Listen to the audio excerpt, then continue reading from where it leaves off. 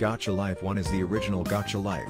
It got so many people join the gacha community. In fact it's the childhood of most gachas. It had cool looking static pose and animated pose.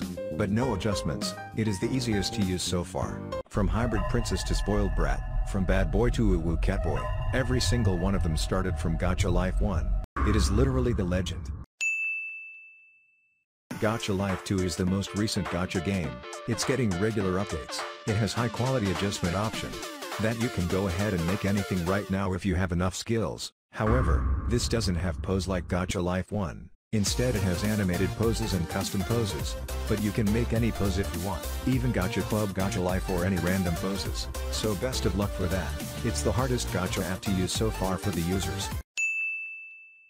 Gacha Life 3 is confirmed by Luni previously. It was said that it will be an app where you will import your OC from Gacha Life 2 and do something special. What special thing could it be? Maybe an app where you have option to make good animation? First we will import the Gacha Life 2 OC into Gacha Life 3 app.